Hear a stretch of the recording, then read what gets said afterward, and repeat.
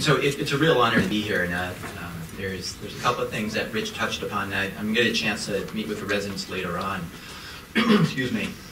One is he touched upon this idea of uh, endoscopic surgery, which is always a, a passion of mine.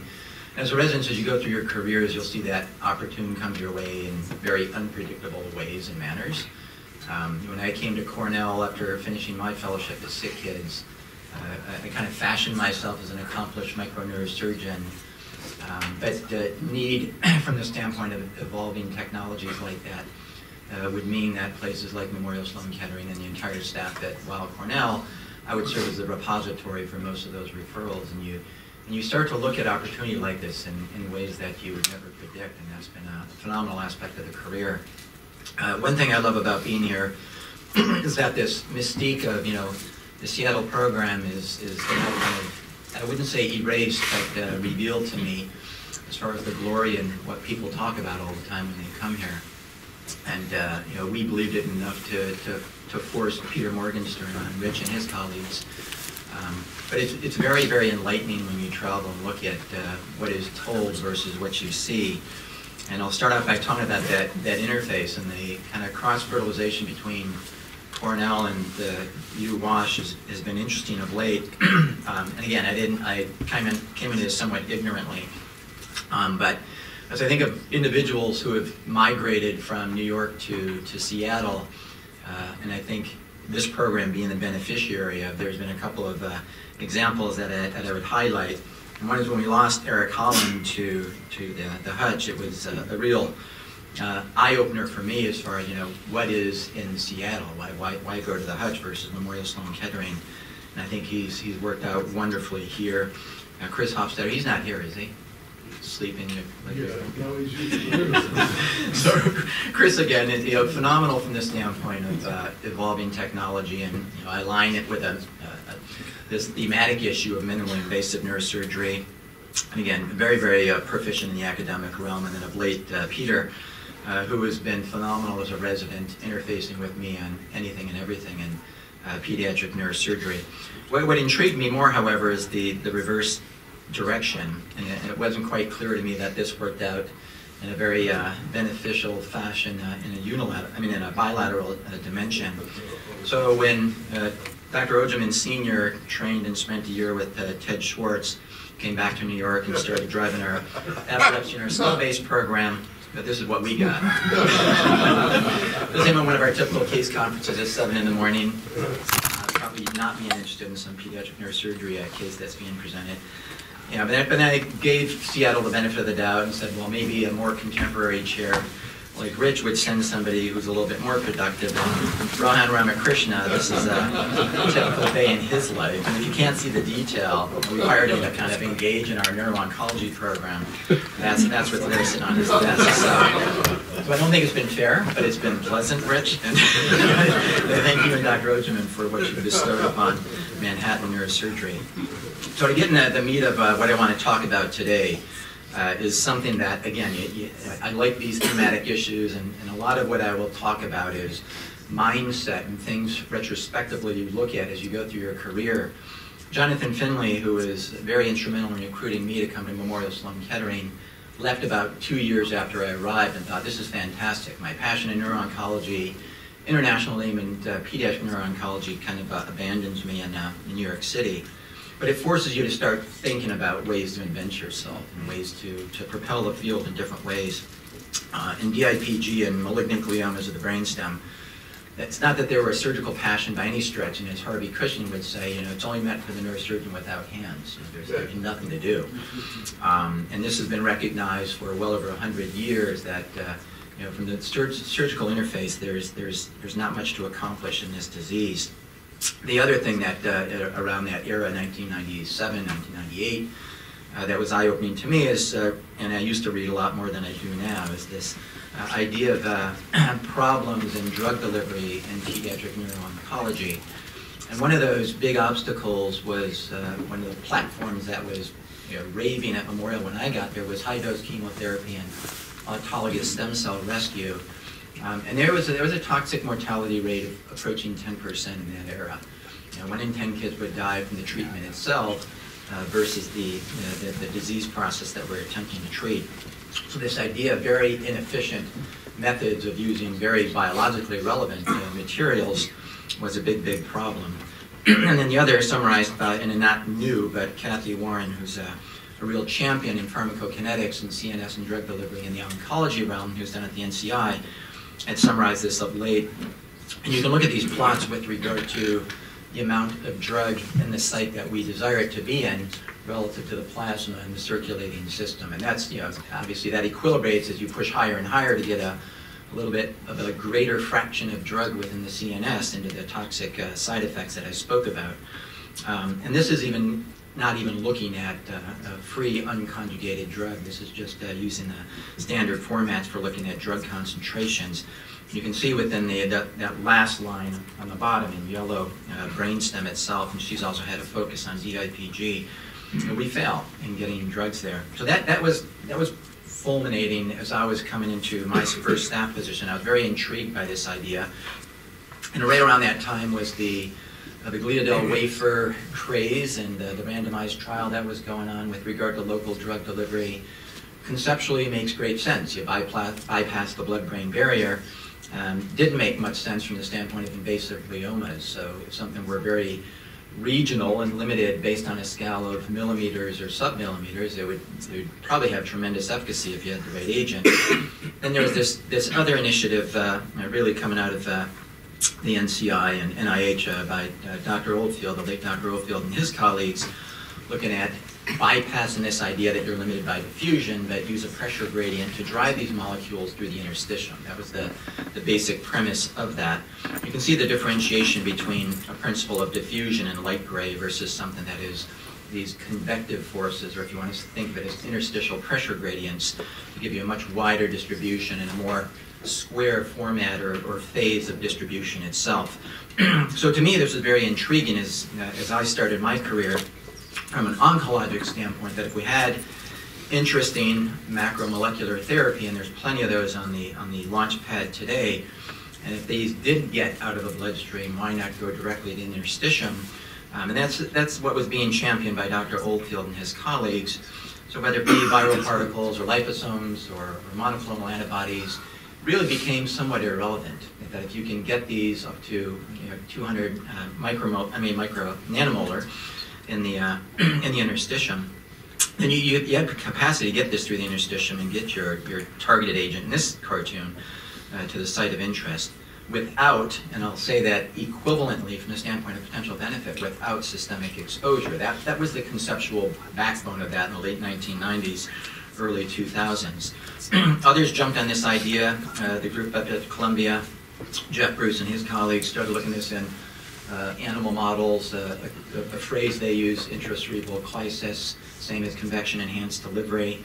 Yeah, with pretty impressive, uh, very early results looking at rudimentary at the time, you know, the best we had with regard to glioma models in the cerebrum of uh, rodent models, and looking at the difference between, uh, you know, either sham surgery or two different concentrations with local delivery versus systemic delivery, and looking at survival assays in these in these rodents. Um, same thing going down, uh, going on at the uh, NIH with uh, Dr. Oldfield's laboratory. Um, and again, examples of systemic delivery uh, with two different agents. This was, uh, I think, carbo and gemcitabine uh, versus that with local delivery.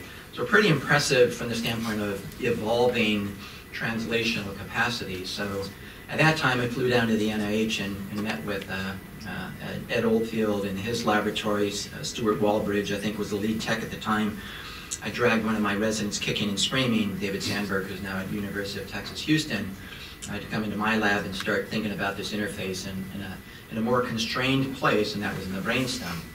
And, and a lot of reasons not to do this, right? It's a small domain. These kids have a lot of interstitial pressure gradients already, um, never been done. They've got X number of months of survival, and now you're going to subject them to something that's potentially catastrophic. But credit to Dave, he, he ran forward with this, and uh, and we were able to.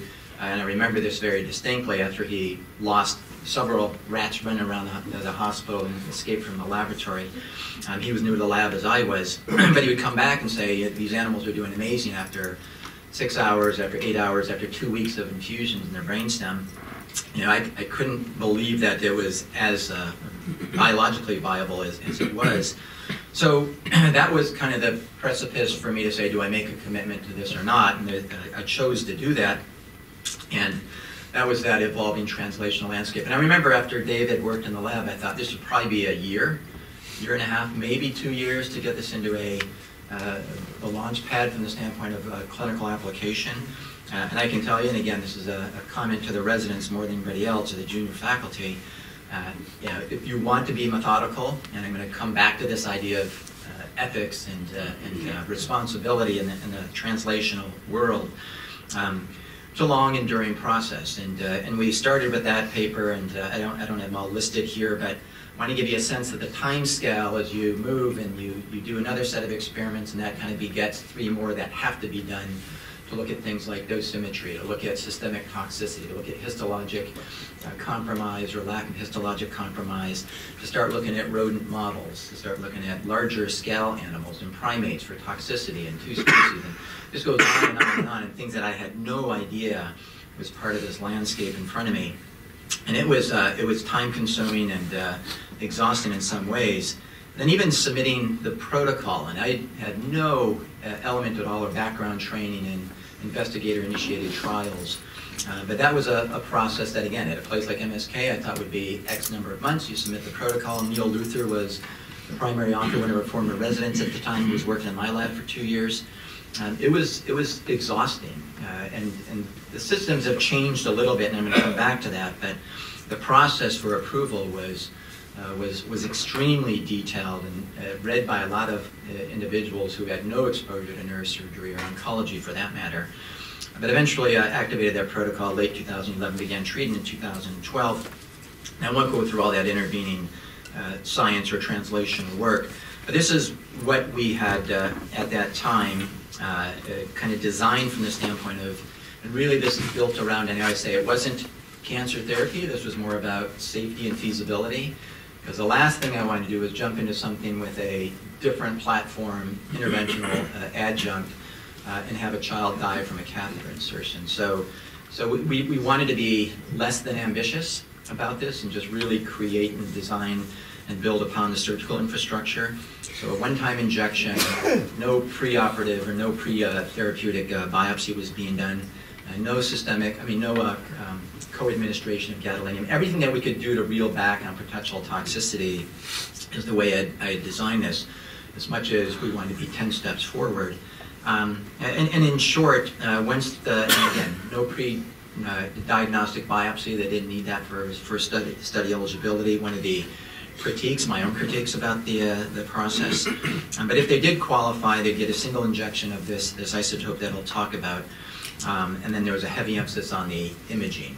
Uh, this I didn't appreciate at the time, but the, the emphasis was really built around dosimetry. For me, it was about response, but as I spent the next uh, 10 years of my career speaking with our nuclear medicine specialists, this was the real horsepower behind this and the real, I think, value added compared to what we had known before this. And, and Russ Lonser and, uh, and, and, Kathy Warren, uh, they just published their results with IL-13. But they had a very rudimentary experience, and I think two patients with brainstem tumors that they had injected uh, IL-13 molecule into. Uh, but we wanted to look at this in a very systemic, uh, systematic, excuse me, dose escalating format. We really knew nothing, and, and, certainly the platform with local drug delivery, there was no gauge as far as infusion rates, volumes that would be tolerant, different anatomical domains, what agents were safe, which ones weren't. It was just kind of a mess and amalgamation of people, and I don't want to use the phrase that was used by Stuart Walbridge, but squirting something in the brain and hoping it worked without a lot of thought about uh, building upon this platform in a very thoughtful way. I, I, highlight this just before I get into the, the results, just because, and it didn't occur to me at the time, we were really going down this idea of a conjugated immunotoxin, and Ira Pastan, who's down at the NCI, is one of the world's leaders in conjugated toxins that we were partnering with and doing a lot of preclinical work and toxicity studies with. We were fully engaged to do this, uh, but we, we stopped because of the estimation of uh, another two-year worth of commitment and maybe uh, two to three million dollars in investment to get a new IND for that agent. Um, uh, but at the time, concurrently, again, this idea of opportunity at Memorial, they were injecting this monoclonal antibody conjugated to an isotope in kids with relapsed CNS neuroblastoma, another neuroectodermally derived tumor, with really impressive results from the standpoint of changing the uh, universal fatal outcome of these kids to, to impressive survival results as an adjunct injected into the intrathecal compartment. So a pre-existing IND for the molecule in children, in the brain, a different compartment. Uh, and this made it exceptionally easier to, to look at this, uh, uh, or just uh, um, um, sign on to this IND and get it uh, implemented into this therapeutic trial, and that helped immensely. And as the, the science evolved over the past several years of using this, there's been a lot of recent uh, evidence looking at this as something that uh, we had hoped from the standpoint of the monoclonal antibody component of this, and that's uh, this uh, idea that it's a, a checkpoint inhibitor as well. So it's built upon this uh, murine-based monoclonal with this uh, conjugated isotope. And I don't know if there's, there's probably nobody with a passion for nuclear medicine in here. But I-124, equivalent in its biological activity to I-131, but better for the dosimetry part of this, is what we really wanted from the standpoint of what we were doing and how well we were doing with it. So five, six years worth of uh, study uh, uh, enrollment, and uh, we just published our results in November of last year. And we really, it was the first time we looked at this in a dose escalating, volume escalating format, utilizing something that we had very reproducible dosimetry on. So this conceptual idea of can you get something into your target in high concentrations and avoid the systemic circulation? The, uh, the, the undisputable result of that was yes, or response to that. We still have yet to reach what's called a, a maximal tolerated dose. I, I use a little bit of caution there from the standpoint of radiobiology, volumetric issues. So we're, we're changing a lot of those variables as we move forward um, and still have not seen any uh, grade four or five uh, uh, SAEs to limit our dose, uh, our dose escalation platform. Excuse me.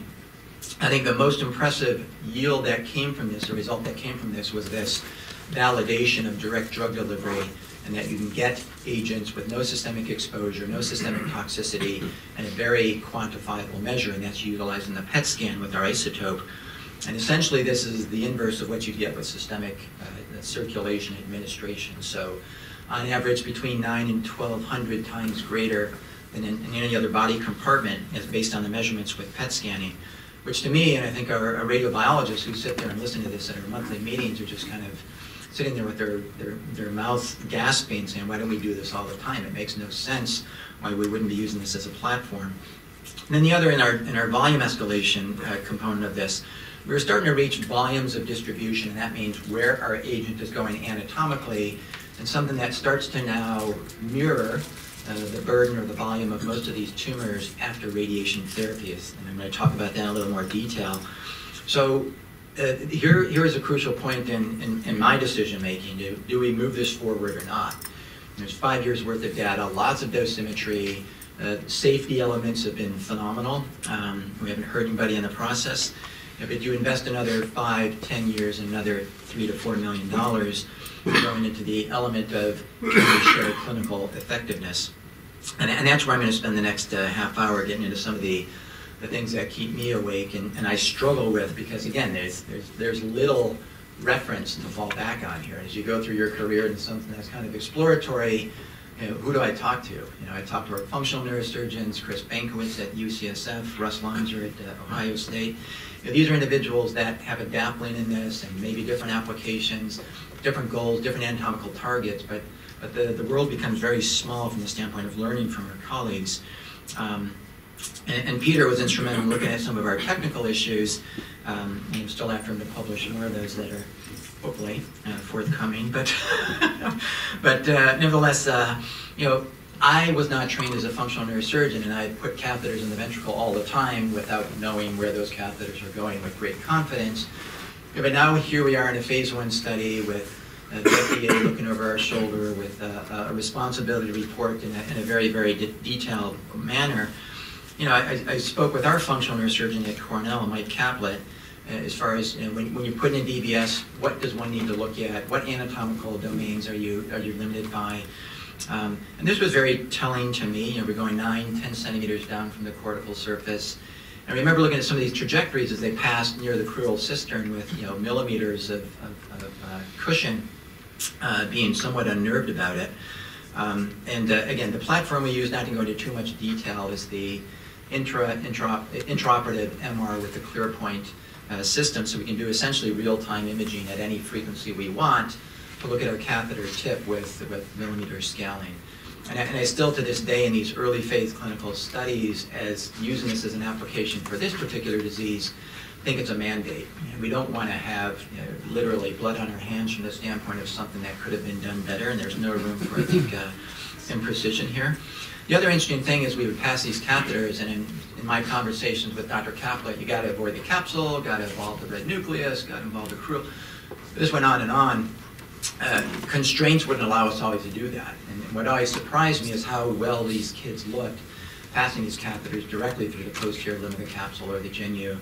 Um, and Peter looked at this from the standpoint of uh, then going back and retrospectively looking at our MR uh, tractography, uh, looking at points of convergence, length of uh, intersection, uh, and really because we had such a nearly universal good outcome with little surgical morbidity or motor findings, it was pretty much a, a done deal as far as what we expected, but it, it really made no difference. And I've become not relaxed, but not as concerned about those that I perceive to be barriers to getting these catheters in a, in a deep-seated center like that. And we weren't the first, obviously, to put things in the brainstem from the super, uh, supratentorial compartment. This has been done for decades with biopsy uh, and many of my, uh, our colleagues that preceded uh, my time in this. So, um, but then infusing the, the agent became the, the disparate issue there. So I'm always asked, you know, are you, are you changing the playing field? And, and, recently at a symposium that Kathy Warren was at, she, she kind of stood up and said, enough is enough. You've been doing this for five years. Have you, have you cured these kids? You know, and that, that's obviously the pointed question. And that's where the mindset now starts to shift is from a technical to a therapeutic uh, interface that I want to talk to you about the detail about. But certainly we're, we're not doing any worse, and I, my suspicion is we're doing far better. When I started my career, there was a median survival of between 9 and 11 months at best. Whatever cooperative group has looked at this, you know, median survival hovers around that, that time point, uh, 10, 11 months. And, and with uh, several survivors still in our phase one study, we're, we're just uh, shy of uh, 16 months now with our updated work um, with some uh, really interesting anecdotal results that, that I want to highlight to try and, you know, we scratch our heads and look at and answer uh, why. So certainly we're not doing anything worse, and if anything, uh, there's a suggestion that these kids are doing better. Um, and that's not just borne out by overall survival stats. If you start to now, you know, why in some versus others, can you start to look at some of the variables that might predict who's going to do better or not? One thing we're limited by is that we're not doing the biological correlates that uh, we would love to do. But again, phase one, morbidity, uh, high attention uh, scale on this, uh, certainly not on this, but as we move into looking at clinical responsiveness, I think it's going to be a, a mandate for us to do that. But you start to parse out simple things like dose age, gender. You know, these are the, the simple low-lying fruit that one could look at. You start to see some disparity, but you know, these are three by three formats, dose escalations, impossible to get any statistical relevance. Uh, but clearly, there's some separation in, in, in individuals. What was most impressive to me is I started again. Usually, we saw these kids at time of diagnosis prior to me getting involved in this clinical trial we'd lateral them to the oncologist, to the radiation oncologist, and seldom would we ever see them again until they called us and asked about hydro or ventricular enlargement. So I never followed these kids through death and looked at serial imaging, to be quite frank with you. But one thing I was impressed about is we saw some of these kids. Here's an example at the time of diagnosis in 2015. You know, one thing you got to be very careful about here is mixing and having crossover with other forms of therapy, you get a fairly brilliant response to external beam radiation therapy in most of these kids with a volumetric reduction. Um, so, you know, it, is that an artifact of looking at what we've done versus external beam? But this child treated twice, you can see that that tumor by this time is at least the surrogate of tumor, and I'll be very careful about saying that, is relatively constrained.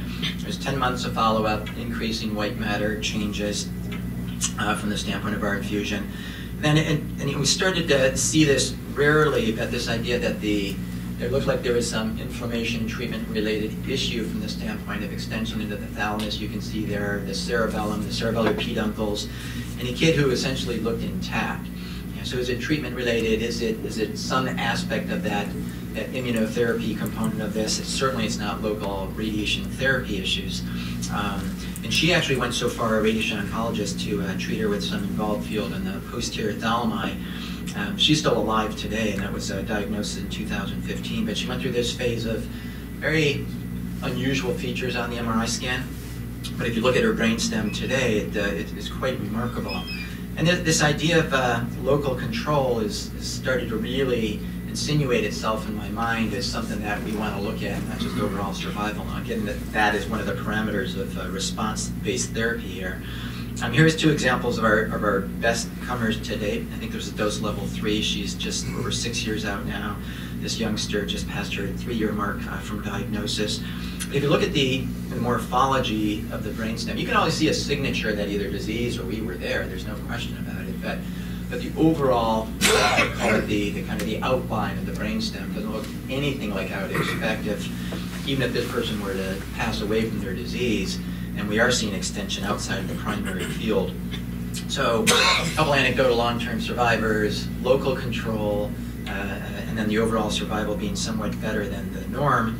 and this pretty much mirrors what has been evolving in the supratentorial compartment with my adult colleagues in oncology, and that's how does CED, and one's got to be very careful, it's a tool, you know, it's not a unified therapeutic approach, as I mentioned before, there are different agents, different targets, different domains, yeah, but how does it compare to the uh, evolution of this as, a, as an interface for oncology? And this summary that was uh, uh, published uh, just shy of two years ago really looked at this in, uni in a unified fashion. I think there were 14 clinical series that they looked at with regard to direct drug delivery being the interface for a therapeutic uh, idea of treating these, usually the multiply recurrent supratentorial malignant glioma if you want a, a beast to treat, uh, especially with CED, it's that. You know, we thought the brainstem would make a much more reasonable uh, prototype just because of its fairly constrained, it's uh, relatively small, et cetera. There's no cavitations, there's no surgical incursions, so the distribution should benefit from that. But nevertheless, that, that summary showed again that this is very well tolerated with the right surgical interfaces, the right catheters, right flow rates, uh, volumes and that the systemic toxicity has been negligible to not, regardless whether it's a platinum-based uh, therapeutic compound, a radioisotope, uh, conjugated immunotoxins.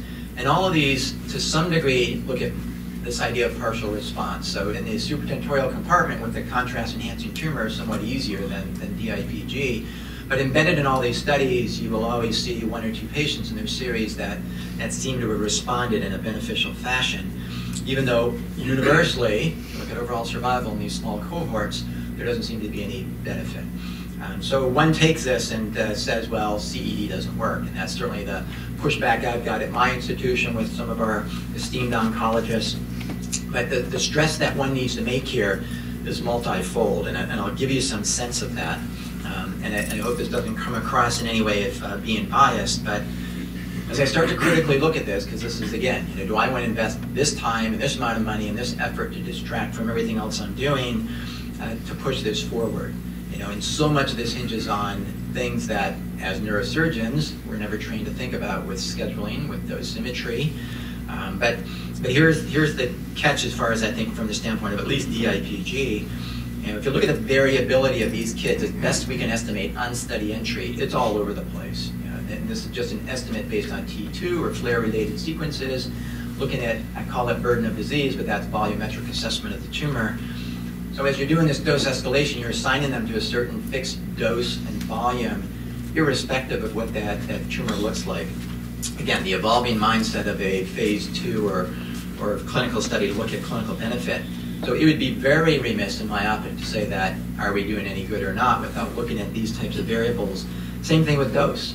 You know, it doesn't matter how big the tumor is, if the kid is treated on dose level A or B or C or D, uh, there's no there's no marriage there between what they need uh, and what uh, what we're going to assign them to. Uh, the absorbed dose, uh, you look at the uh, standard deviation there. Absorbed dose is just the, the, the nuclear medicine's calculation as far as of the prescribed dose we give, how much actually gets in our lesion or our area of interest uh, and that's reported in different ways with RADS or centigray. Um, volume of distribution, again, you'd expect this to be very low in the initial stages and quite high as we get into higher and higher volumes. And the list goes on and on. The point is there's a huge amount of variability metrics that we have not even begun to skim the surface from the standpoint of looking at potential response. So I'll say that you know, as we look at the idea of therapeutic planning and kind of laying the groundwork for a, a clinical study to look at clinical benefit, you know, we need to be very, very careful, concerned, integrate these into our planning schemes. And these are just two different examples uh, estimated. And this is not all done by me. You know, we have uh, MR physicists who do a lot of this, some uh, overseas that we've partnered with. But you can look at uh, that top panel there and, and, see that even on the same dose level, uh, one child with greater than 45 cubic centimeters versus 6 cubic centimeters of target tissue that we need to. And again, this is so different relative to systemic therapy, right? We give something systemically and it's somewhat irrelevant, right? Because the concentration, by and large, should be the same in our, in our target tissue. With regional delivery or direct drug delivery, this is so geometrically defined. to be so crucial about uh, the thought process about drug administration. Uh, and again, you'd expect volume of distribution. That's the, uh, that's the readout of how much drug gets in what domain at certain measured time points. Um, quite variable but again, quite uh, impressive as we get to the higher doses relative to the, the tumor burden. These are just a couple snapshots of what it looks like from the standpoint of what we're doing at the time of uh, uh, our, our catheter placement and predictive modeling. And this is on a T2 scaled image, so we do our best, and our colleagues do our best to outline tumor. Again, we know this is a surrogate. We know this is just macroscopic um, measurement of, of where tumor is involved. Um, so it doesn't do anything as far as the infiltrative front to some degree. Uh, all of these, by and large, are non-contrast enhancing. This is a T1 representative image. You know, not too bad as far as the correlation if one were to rely on this. Um, then the real horsepower behind our imaging modalities is the integration of PET. Um, so what, what we've really struggled with is our PET signal, if anybody's ever looked at the readout from PET scans, you, you have a lot of subjective uh, variability in the way you, you create a threshold and look for a signal. And the, the, the radiation, uh, uh, nuclear medicine specialists, they do this intentionally because as isotopes decay, they need to gauge for that and correct for that. But nevertheless, you know, the morphologies look dar uh, pretty darn good from the standpoint of overlap and, uh, and overall shape. Uh, and as we try to calculate a threshold in our PET scan, you know, the overlap with our delta T2 or infusion volume seems to be pretty darn good. Another example here, this is pre-infusion, increased T2 signal, and I, I, can tell you these brainstems swell. You get the, the MR on the, on the first day after infusion, and initially our neuroradiologists were saying there looks like there's disease progression. But you know, these swell and they retract within X number of hours. Um, increased T2 signal uh, outlined, uh, there's our volume of distribution overlaid with PET and we look at the, the agreement between those distribu distribution maps. And the beauty with PET is we can get a readout of dose. It's not scaled on the millimeter um, element that we'd like, but nevertheless we can start to get a readout of dose over tumor and distribution, and that's kind of the target where we're going with this. This is a sample of our last several patients we treated on our, our highest dose level. The, the different dose levels here um, are, are, just gauged by escalation of a, of a rate, not so much a, an overall dose or volume.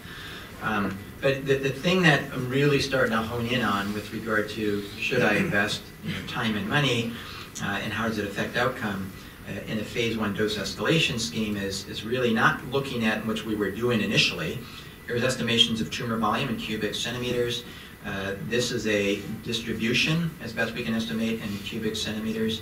You know, it, there's some agreement. You know, we seem to be doing well sometimes, not so well in others. Uh, but then when really, when you start to not just look at, here's our volume of distribution, here's our tumor volume, do they agree? And not just do they agree in volume, but what about in space? You know, are they truly overlapping? You want to use one extreme, if you inject in one hemisphere, tumors in the other, even though the distribution's good, you wouldn't predict a good outcome. And this is all over the place from the standpoint of coverage.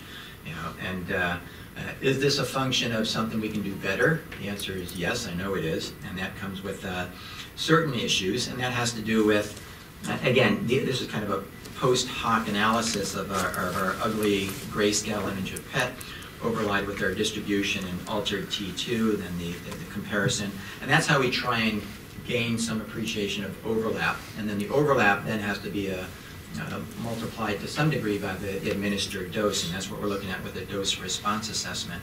I can tell you that it becomes really problematic as you start to hone in on any of these because all of these are insufficient to some degree and they're, they're surrogates. This is an example of pre and post infusion. with an increase in T2 signal, uh, swollen brainstem after infusion, and that's what we currently use. We did this intentionally. We didn't co-infuse gadolinium, much to my uh, colleagues around the world who say you should should have been.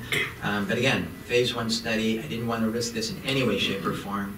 Um, and uh, this is great work that uh, John Sampson's been doing at Duke with regard to, again, looking at MR correlates of infusing, and he used uh, uh, albumin labeled with I-123 to even compound or, or look at a comparison like we're doing with your altered T2 signal versus your, in this particular case, SPECT scan.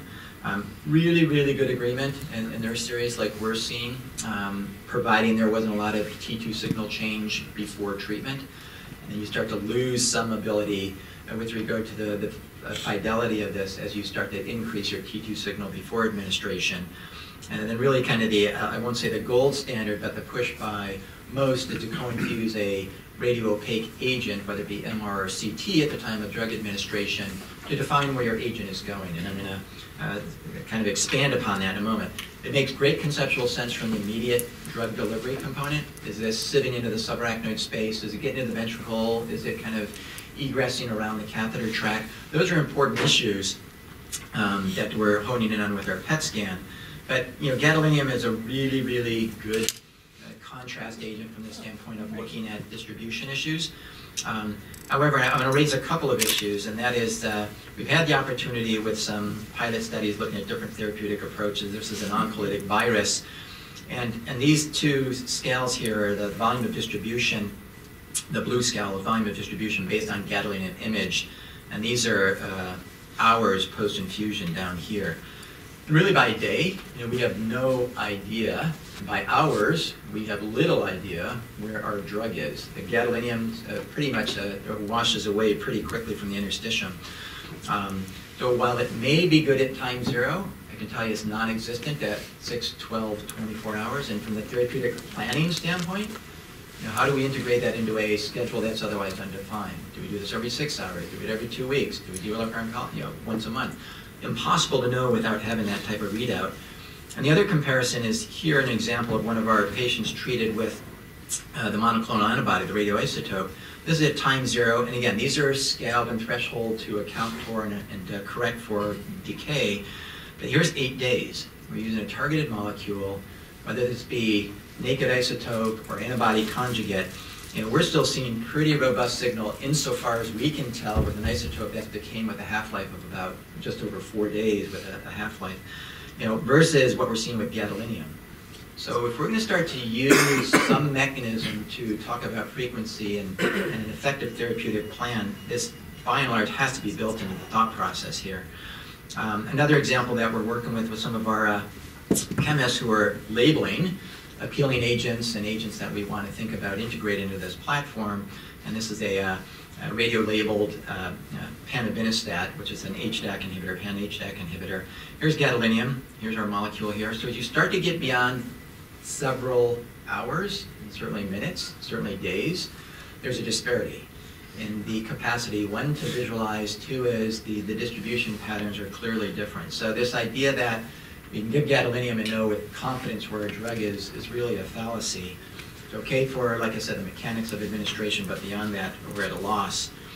Um, what do you do about, you know, no oncologists, they, they, would be yawning, walking out of the room, you're going to give a single dose and think you're going to cure DIPG? You know, this is silly. It is silly on some level. Again, we don't know. We've never done this from the standpoint of direct administration, targeted agent. Uh, we're talking about radiation. That's the only thing that we've ever seen any radiographic response in these kids. Uh, and then the uh, uh, immune regulation thing that I, that I spoke about with checkpoint inhibition. So we've gone so far as to retreat some of these kids, bilateral administrations. Certainly the group in Bristol and now in, in the UK that is using you know, four catheters in the brainstem. I haven't felt the need to do that yet. We're seeing amazing distribution patterns with a single catheter. Uh, time will tell, but there are platforms that are available today to put one, two, three, four catheters in your area of interest and repeatedly go back to a transcutaneous port. Jeff Bruce at Columbia is now treating his supratentorial gliomas with the uh, topotecan with an infusion pump, the ITB pump. So the, the idea that you know, this is not going to be a one-time deal is true, but again, as one, as one moves forward in the idea of acceptance, like I said, one needs to be very cautionary about the direction one goes. The other criticism I hear all the time is, yeah, but these diseases aren't constrained. You might talk about these being brainstem tumors, but if you look at what has evolved and you see enough of these kids, you disseminated disease. One of the reasons we chose this versus a medulloblastoma is just because it was something that we don't think about in the same breath as being highly metastatic. But at time of death, the disease recurrence, you see this with some regularity.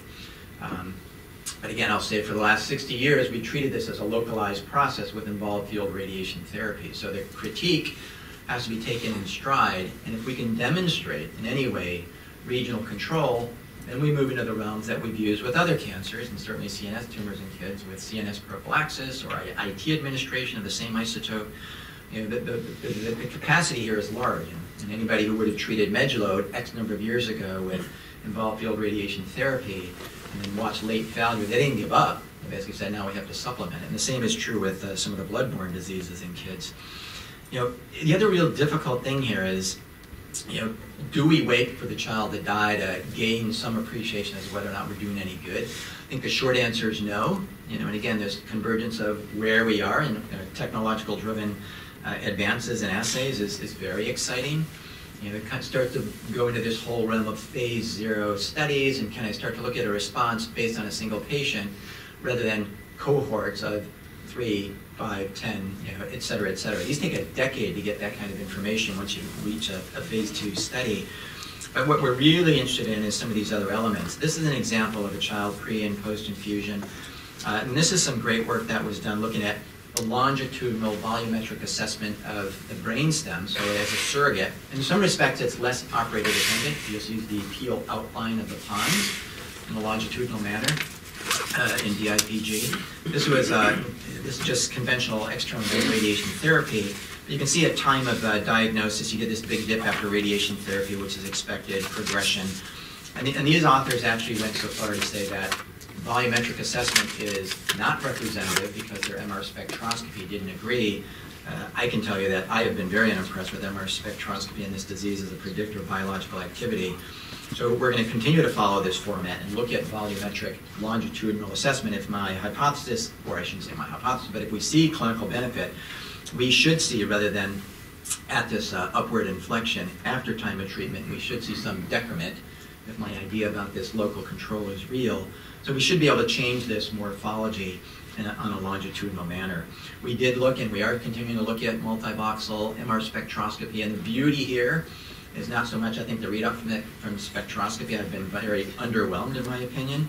Uh, but nevertheless, we can look at this in a dose-response manner. So we have our overlay of our PET scan to give us some idea of, you know, what dose seems to be working where, uh, and that's pretty good spatial resolution. And that's another approach we've been using. You know, then I think the other engaging platforms are going to be what's coming out in the uh, uh, world of more uh, metabolic uh, assessments. Um, our, our, metabolic imaging, we partnered with a group at Memorial who have uh, used a PARP inhibitor labeled with an isotope as a therapeutic molecule. We've also found it, it it's at least in our animal models, beautifully in malignant gliomas and DIPGs in particular. So can you use a molecular readout as volume or disease burden rather than uh, anatomical issues? And that's a path we're going down to see if we can look at another metric that's much more immediate rather than uh, overall survival. And we could do that in a time scale measured in days. Um, the other is a liquid biopsy. I think we are there. Uh, we've uh, published our results recently from Memorial on, on malignant gliomas as a longitudinal assessment. Yeah, but I, I, think we are there in these interesting therapeutic or innovative design trials uh, to be proposing that we're putting in Ommayas or, or catheters in the lumbar cistern or, or actually doing LPs every time they come in for an MR. Mm-hmm. That's how valuable this information could be if it's validated in a longitudinal manner. Uh, and that's something we're proposing right now in our next phase of studies, is that we don't just put in our therapeutic molecule at some frequency and expect the best, but we want to follow this longitudinally based on uh, our, our, administration of the therapeutic molecule, regardless of what it is. Um, the other heavy investment here, you know, can you change the idea of what our big pharmaceutical companies think? You know, it's pretty rare they come to you with a biological or targeted therapeutic molecule and say, oh, by the way, we've, we've labeled it with some MR or PET uh, uh, contrast agent or a readout that, that can give you some idea of dosimetry. It's, it's pretty much non-existent. So partnering with pharmacy, partnering, pharmaceutical companies, partnering with uh, some of our chemists to actually start taking an array of agents that we think have capacity and then look at the retained biological activity to look at distribution maps, frequency, et cetera, et cetera. A lot of complexity. You know, what isotope you're using, how long can you image it? You want to do this in a, in a, in a way that you're looking at something that's uh, transferable and translatable in the clinical realm versus uh, something you just need to uh, document in a preclinical realm. But this, this is what I think is, I, I, I, I, hesitate to say criminal, but I'll say it, that you know, all these open clinical trials for direct drug delivery of a variety of agents, you know, none of these are looking at the kinetics of what's happening after administration. So we put in our agent, let's hope we've cured multiple recurrent GBM. Fat chance, I think. And so we've got to be very clever from the neurosurgical standpoint about being careful as well, about jumping into this idea that, you know, the hurrah thing, hey, we can do it, so let's do it. But think about it more in an oncologic way. I always say put your mind in the, the realm of a radiation oncologist. It'd be analogous to putting a kid in a linear accelerator or a, a gamma knife and pushing a button with no dosimetry, no isodose lines, no negative dose planning, and we're going to give one dose and hope we've, we've done something. It's, it's, it's really, really short-sighted. Uh, a couple more comments, and that is, uh, um, you know, so if I could design, and now at this fulcrum that, that, that I'm at in my career and the work we're doing, you know, I think we're pretty darn close to saying we've done plenty of safety information. Now we want to tailor make this for each child at time of presentation. We, we've gone up to a volume that we think we can encompass most tumors. So predictably say, this is the volume of tumor, this is our target, and we use MR tractography, which we know influences, we're trying to validate our predictive modeling right now with the group in Munich at Brainlab. And to say, does this work in the brainstem like it does in the putamen as far as predictive modeling? And then we want to reach a therapeutic concentration of a drug in a defined area. That, that is so crucial from the standpoint of where I think this should go and where we should be. And then how often do we redose? How are we going to monitor this? Is it microdialysis? Is it putting something back in the brainstem? Is it tissue sampling? Is it liquid biopsy? This is where the really elegant uh, element of this design could go, and I would implore anybody going into this room that it should go. So I'm going to say a couple last words to the residents. I think I have uh, six minutes. Um, you know, advice to you as you move forward. you know, don't be deterred. You know, these are very difficult. You know, Rich was talking in a very nice and probably artificial way of you know, the work I've done in endoscopy. Um, this is far different. You know, it's not picking up a tool in the operating room and say, let's do six kids or 60 individuals and see how they do. I mean, this is from the ground up, and, and this is taken a lot of criticism from the standpoint of feasibility and cost. And, and this is just an example. This was back in 2009, and the formats changed at Memorial. Uh, but I mentioned from the time of protocol submission uh, to it going to the FDA, was somewhere under about 13, 14 months with a lot. You're going to put these kids to sleep?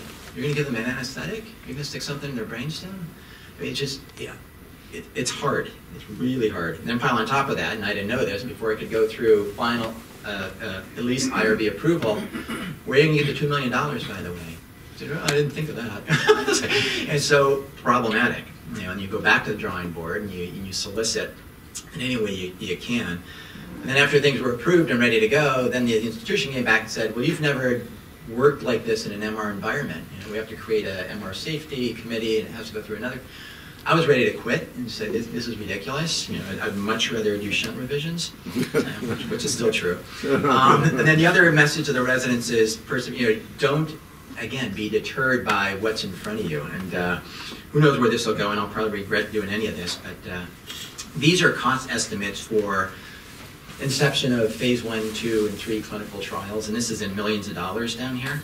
Um, you know, the, the, blue over here to the far left, you know, two to three million dollars can usually get you through a phase one study pretty effectively, regardless of the disease process.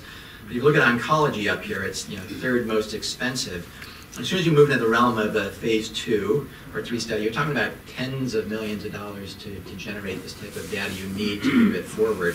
And this is the probability or what's called likelihood of success that from the time of inception, it actually gets approved for a therapeutic uh, uh study by the, not study, but acceptable form of uh, treatment. In oncology, I think it's, yeah, it's here in green on the bottom. You know, single digit percentages that know, there's certainly shy of 100 people here that you know, two to three ideas, maybe out of 100, will get to the point where it's actually approved to move forward in a therapeutic way. The other, I remember when Caitlin and her mother, uh, this Caitlin, uh, not my wife, um, came up from Florida as the first patient we put on study. I can tell you, work in the lab with David Sandberg and Neal Luther and whomever, you know, it's fun, it's engaging, you get some publications. When mom comes in or dad comes in to sign the consent, you know, I can tell you there's a lot of introspection. Did I do everything I should to prove this is safe? Hasn't been done. You know, it's, it's not about me, but it's you know about these people here. So have you done your due diligence and are you responsible in your in your lab work and your translational efforts the way you should? A lot of us are so excited about get something through and get a publication, but I tell you, you got a bigger responsibility from the standpoint of where this goes. Um, something that Vivian Tabar, my chairman at Memorial, referred to me uh, a couple of years ago, not because I was unethical, I think, but uh, just because she heard about some of these challenges that were in front of us. If you haven't read this, this is pretty impressive. It's not anything you don't know, but it, it really spills it out in black and white in front of you as far as anybody in, in clinical or biomedical research. And you can read through these, but I'll tell you that as you start to go to the next step of, hey, we're going to publish our results on a couple long-term survivors in DIPG, and, trust me, there's been a lot of push for me to do this, but uh, you know, I'm going to be my hardest critic. You know, I don't want this to be gauged in an artificial way. I don't care to invest X more years or decades in that kind of money on something that, that might not be, at least in my opinion, uh, that is credible. So this is hard. You've got to really dig down deep and be methodical about what you choose or not to choose uh, to, to publish. And the, the other thing, I think, is the last slide with regard to uh, um, and my advice to the residents. Everybody was talking about, you know, how do you balance it? The answer is you don't. It's absolutely an impossibility. So, you know, this is not my whole career, but this longitudinal uh, kind of review, and I talked about this long process of doing this. And if you put on the other side of that everything else you're supposed to be doing in life, um, you know, th this becomes an impossibility. You know, so when everybody says you how to balance it, I don't balance it, but I will stress to you that uh, these shouldn't be on the bottom part of this line. These, these require attention. It's very easy to get distracted, fly all over the world, and get things published and apply for grants, but boy, oh boy, do we get our work cut out for us in, in a field like we all adore and love. And, the reason, and part of the reason it works is, you know, these types of interfaces, you know, this short time that uh, we've had this interface between Seattle and New York, um, you know, it makes it enjoyable, you know, and, uh, you know, Rich and I last night when we were talking, it wasn't about CED and it wasn't about endoscopy, it was about raising kids and school and education and the, the, the struggles that we all go through. Um, and that's the essence of, of, of, really the friends we make. This is Peter teaching my kid how to declaw and take meat out of a lobster claw. So with that, I will close. Um, and any questions that you have, I'll try and address while you while you watch another form of parliament hearing. Uh, so thank you very much, uh, Dr. Ellenbogen, for the entire.